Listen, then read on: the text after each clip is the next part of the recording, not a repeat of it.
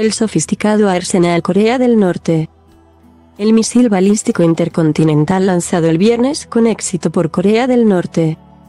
El Basón 17 supone otro importante avance para el programa armamentístico del régimen de Kim Jong-un, que ha ganado mucho en sofisticación durante sus 10 años de mandato.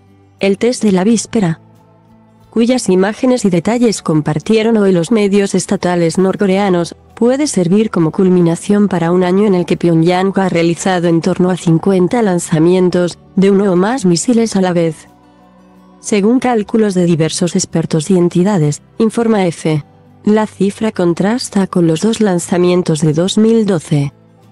El primer año en el que Kim Jong-un estuvo en el poder, y los 21 que se estimaron en 2017 periodo de gran actividad en el que el desarrollo del programa de misiles había ganado ya mucho impulso con el nuevo líder y en el que la tensión escaló a máximos debido a los intercambios dialécticos entre Kim y el expresidente estadounidense Donald Trump. Este año 2022 le ha servido además al régimen norcoreano para seguir testando nuevos sistemas dentro de su ambicioso plan aprobado en enero del año pasado para modernizar su inventario, del cual se pueden destacar los siguientes proyectiles. Misiles Los misiles balísticos de corto alcance son la base de las fuerzas estratégicas norcoreanas, ya que han sido desarrollados desde los años 80 a partir de los Scud soviéticos y se cree que Pyongyang posee más de un millar de unidades de estos proyectiles, donde sobresaldrían las versiones más evolucionadas del Basong 6, con un rango máximo de 500 kilómetros, o el Basong 7, 1, 500 kilómetros.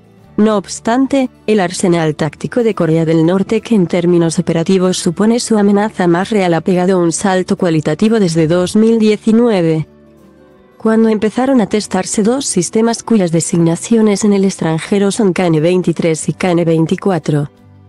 Con rango de entre 400 y 600 kilómetros, ambos trazan trayectorias balísticas variables lo que hace difícil su interceptación y funcionan con combustible sólido más seguro y rápido de cargar que el combustible líquido usado por el resto de SRBM norcoreanos. Tres modelos entre 2015 y 2019 Corea del Norte ha testado con éxito tres modelos de la familia de misiles Pukgukson, alcance máximo estimado de entre 1, 000 y 2, 500 kilómetros, dos de los cuales son proyectiles para ser lanzados desde submarino. Todos emplean combustible sólido, lo que implica mayor coste, pero también menor tiempo de carga. Respecto al Basón 12, 4, 500 kilómetros, ha sido testado insistentemente, lo que ha supuesto que sobrevuele Japón en más de una ocasión. Desde el convulso 2017, el Basón 12 es el fruto de los programas de cohetes espaciales Paektusan, también llamados Taepodong por analistas extranjeros, y UNAI. Según Pyongyang, es capaz de portar una cabeza nuclear. El Basón Gocho, más de 3.000 kilómetros, fue lanzado por primera vez en 2021.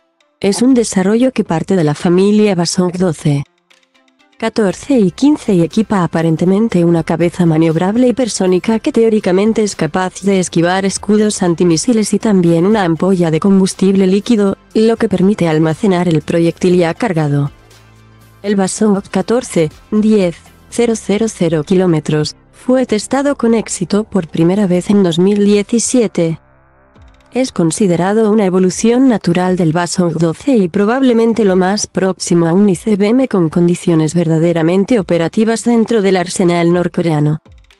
Como el resto de ICBM norcoreanos, emplea combustible líquido y, aunque Pyongyang parece haber logrado cargarlo satisfactoriamente antes de transportarlo al lugar de lanzamiento, requiere de una plataforma prefabricada para poder ser disparado, lo que lo convierte en objetivo fácil en ataques preventivos.